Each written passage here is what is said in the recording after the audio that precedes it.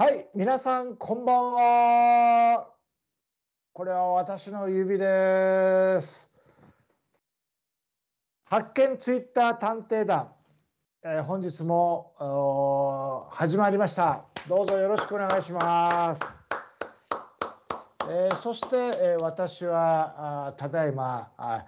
一人ぼっちでございます。えー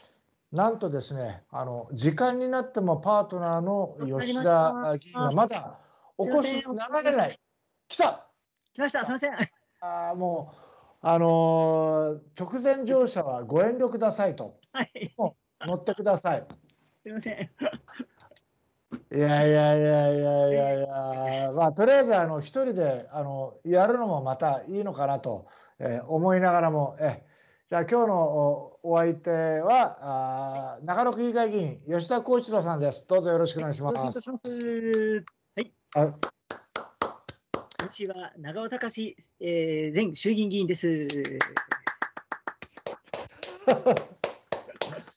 日はどのようにお過ごしでいらっしゃいましたか？今日はもう雨で寒かったので、あんまりちょっと外に出るよ、まあ、まあ、ちょこっとあったんですけど、な外に出る用事をこう絞ってですね、まあ、あのいろいろ宿題がいっぱい溜まってたんで、じ事務仕事がメインでやってました。あれ東京もなんか梅雨入りしたらしいですね。はい、もうなんかね、17度かな、むちゃくちゃ寒くなって、めっちゃ寒いですね。へはいえ、大阪まだ梅雨入りしてないんですよ。えー今日たっぷり23度ぐらいありましたけど。だからもう今日は、だから昼間、今はもう暖かくなったんですけど、昼間はもうあの上着を、スーツをきちんと着て、でえー歩いてましたね。はい。雨とかどうでした？あの、まあ、降ったり、降ったりやんだり、霧雨になったり、いろいろです。降ってないでしょ？はいはい。ひょう、ひょう、ひょひょうは降ってないですね。ひょうう。は。ひょうは降ってない。はいあーなんかね、あの関東のおい一部ではひょうが降って、中古車センターのこの車が全滅して、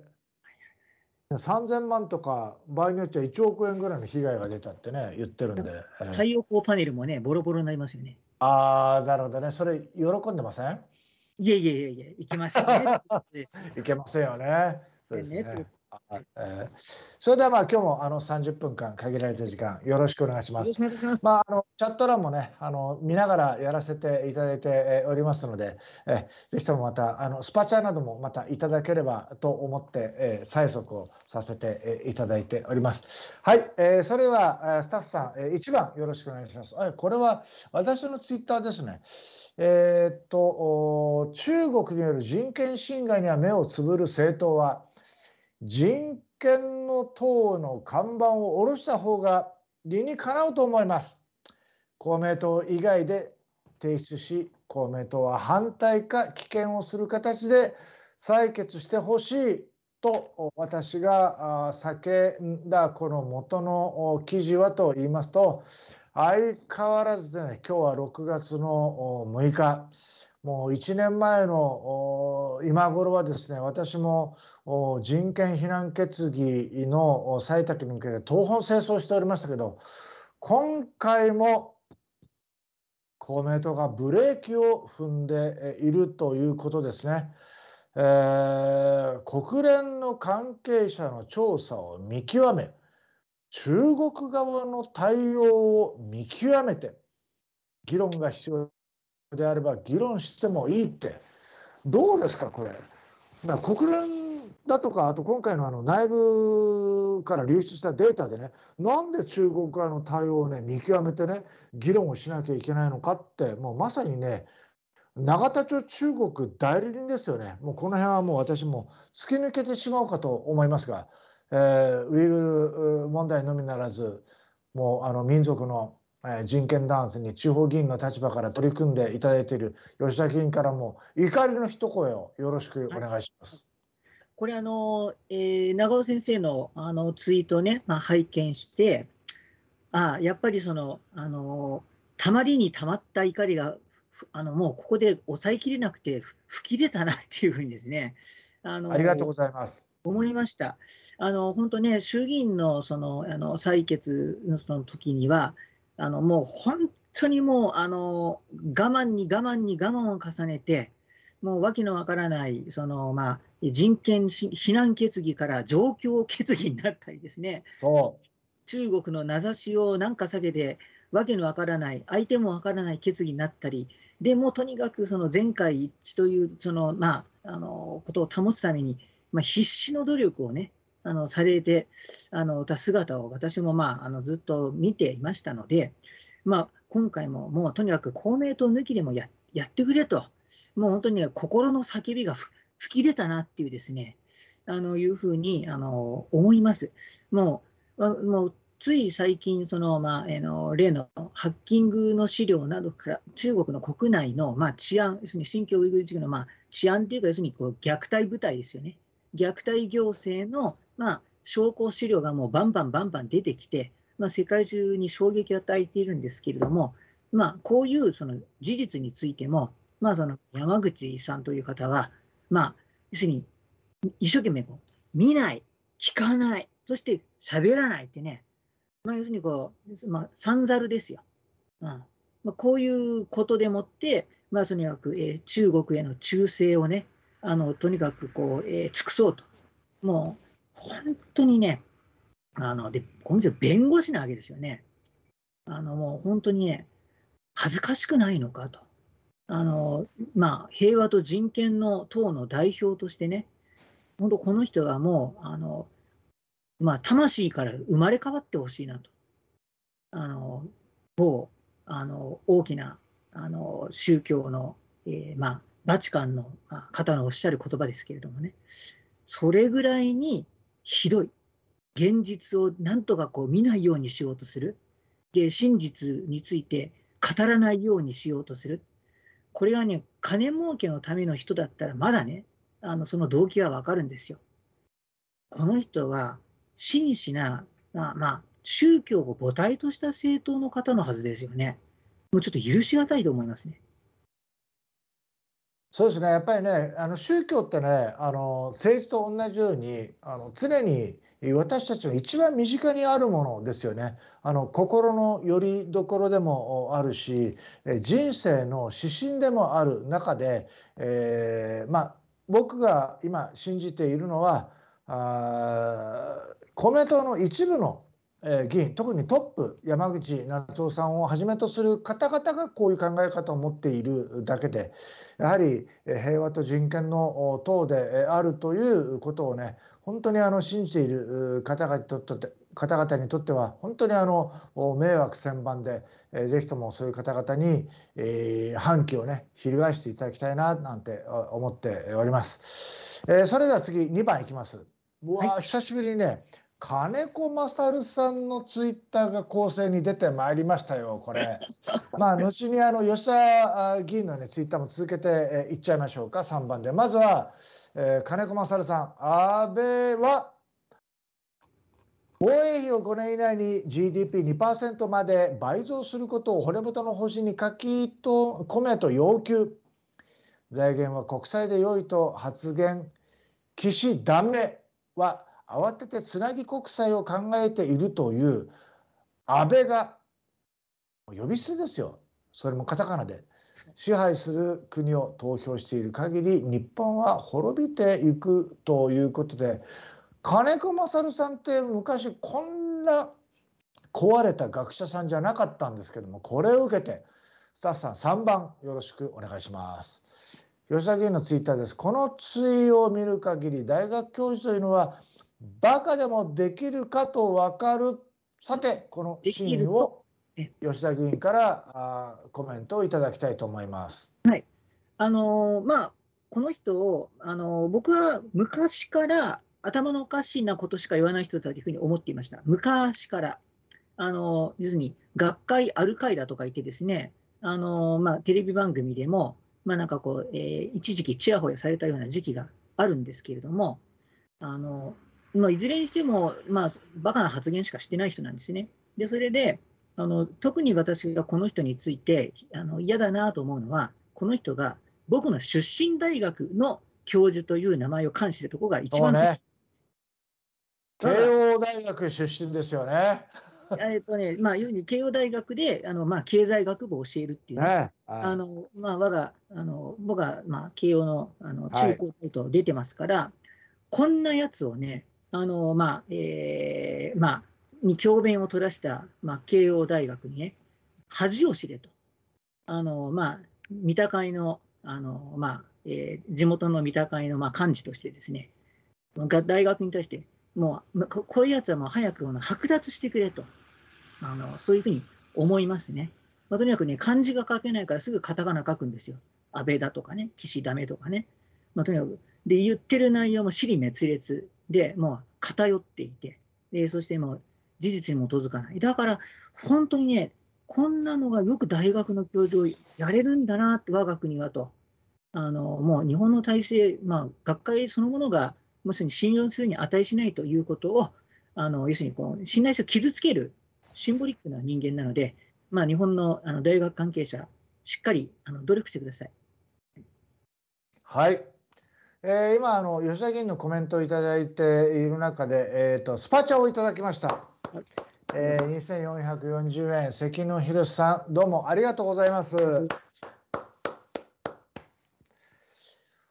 あれ、金子勝さんって昔、僕の記憶だと、産経新聞のあの月刊正論とか、あとあの、亡くなっちゃいましたけど、あの諸君とかに書いてたと思うんですけど、そんな記憶って、いやいや、この人、ありますね。丸系の人ですよ。ああ、そう。うん。丸系だけど、まだその中でもまともだったっていう、そういう印象があるんだけど、違うんだ？えっとね、まあ、要するに若いうちは、まあ、なんか売れたいという気持ちがあるから、ああの頭のおかしなことを必死に抑えて、まともな不倫発言もしたかもしれませんけど、でも、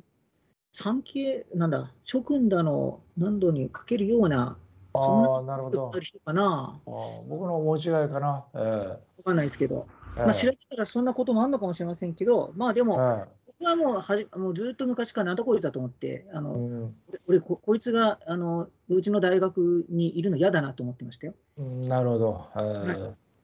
あのそれはちょっとあのチャット欄でやたらあの僕の顔が赤くて吉田議員の顔が白いっていうコメントが入ってるんですけどね。これ多分光の影だと 思いますけど。はい、えー、それでは次の4番お願いします。これね、エリ・アルフィアさんっていう方ご存知でした？えっ、ー、と、自民党さんの公認を、うん、あのまあ、決まりまでは知りませんでした。そうなんですよ。まあ、あの本人がね、えー、公認会見したのは6月の1日だったんですけども、まあ、このタイミングで、えー、まあ、正式にあの文書があの、えー、出ましたんで、ちょっとご紹介をさせていただきました。えー、あるえ エリ・アルフィアさんえツイッターです。え名前はアイデンティティについて書きまして、私は日本に生まれ、え自分をアルフィアと名乗る尊厳を与えられた日本人として、何よりも先に我が国の日本、長く日本の領土と主権、領空、領海を守り抜くことが大切だと考えています。なんかね、どっかの政党に聞かせてやりたいですよね。ね。あの自民党のねあの全国比例の公認候補にあの決定をされました。えーえ。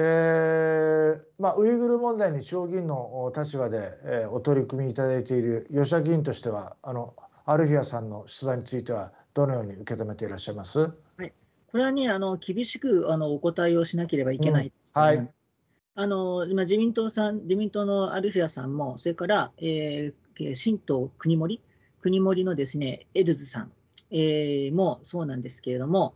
あの私は、えー、帰化一世の方が、えー、まあ、帰化、えー、まあ、例えば、まあ、どれぐらいの年限をかけてかな、僕は原則的には帰化一世という方が、まあ、そのこの選挙権ではなくて、非選挙権ですね。あの公職に就くために選挙に出ることというのは、原則的には反対の立場なんです。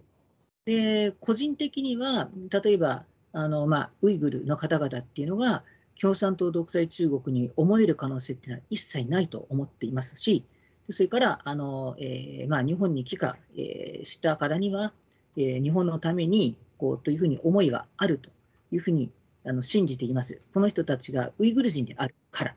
これが逆にウイグル人でなくて中国人だったら一切信用できないと思うんですね。というのはなぜかというと、日本には帰化にあたってあの国家忠誠義務を課すという、そういうハードルがないか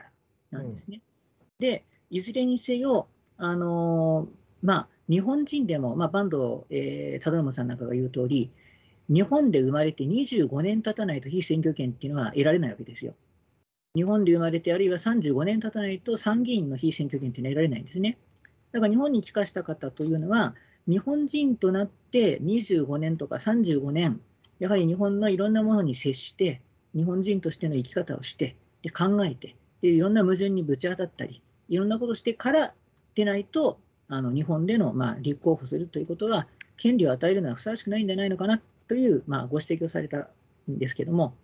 少なくともそれぐらいの、まあ、制限で、それから、えー、期間にあたっての宣誓義務。で、またアメリカの場合は大統領っていうのはアメリカ生まれの人間でないと、えーまあ、立候補の権利ないんですが、いろんな面において私は今の日本は、あの帰化の制度も公職選挙法にも欠落がある時点で、あのまあ、日本にちゃんとあの愛国心があるだろうと、日本のあの国益を守るだろうという、えー、ふうに信じられる方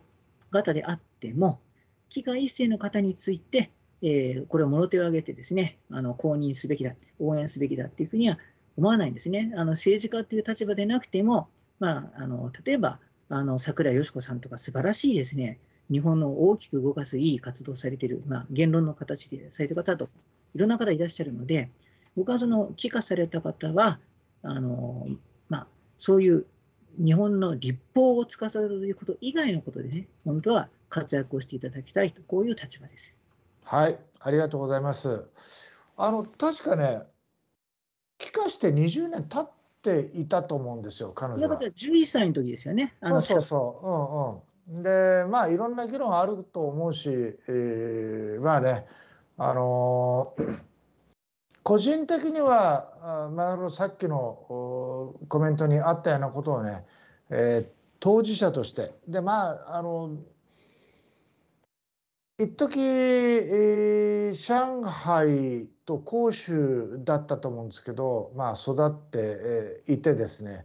えー、まあ、あの自民党もこういったあのウイグル人出身のねそれともお父さんお母さんもあのウイグル出身で、えー、あられますんでね、えー、まあ当事者として、人権問題にねあの一緒に取り組んでくれる、ような方で、えあれば、まあ、ぜひねあの大きなあの人権問題のね戦力として期待したいなと個人的にはあの思っております。はい